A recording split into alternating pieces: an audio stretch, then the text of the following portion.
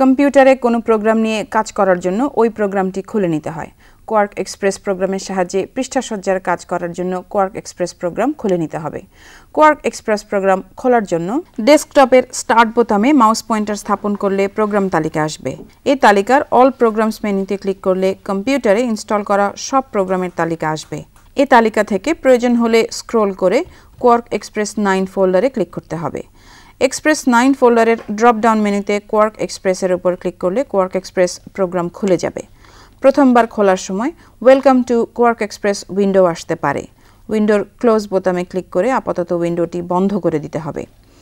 এ পর্যায়ে পর্দার উপরের দিকে থাকবে অ্যাপ্লিকেশন বার মেনু বার ইত্যাদি এবং বাম পাশে থাকবে টুল বক্স বা টুল প্যালেট কোয়ার্ক এক্সপ্রেসে কাজ শুরু করার জন্য কিবোর্ডের কন্ট্রোল বোতাম চেপে রেখে এন বোতামে চাপ দিলে নিউ প্রজেক্ট ডায়ালগ বক্স পাওয়া যাবে, অথবা ফাইল মেনুর নিউ কমান্ড সিলেক্ট করলে একটি ফ্লাই আউট মেনু আসবে।